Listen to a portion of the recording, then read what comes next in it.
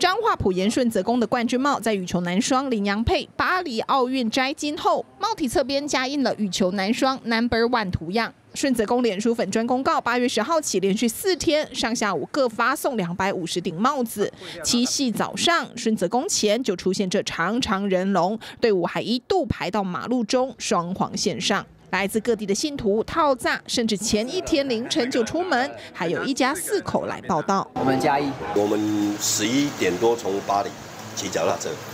你是骑脚踏车下来的？对，这个是冠军帽嘛，拿到金牌的帽子，所以我觉得要来沾一点喜气。之前因为挪威选手伊登带着这顶顺泽宫宫庙夺下了法国尼斯铁人三项冠军，也让这顶宫庙一系爆红。这回帽子边印上了羽球男双图样，虽然会让人联想到林洋配，但因为没有印上名字，也没有使用到人像，加上并非商业行为，林洋经纪人说没有侵权。这个是台湾第一啊，万事用台湾。中间还看到。几个小小点，你看金门、马祖还有澎湖，虽然位置不太一样，但是我们是用意象来表达。妙方说，每个夺冠的背后绝非偶然或运气，而是认真打拼与坚持的结果。感谢大家为台湾加油。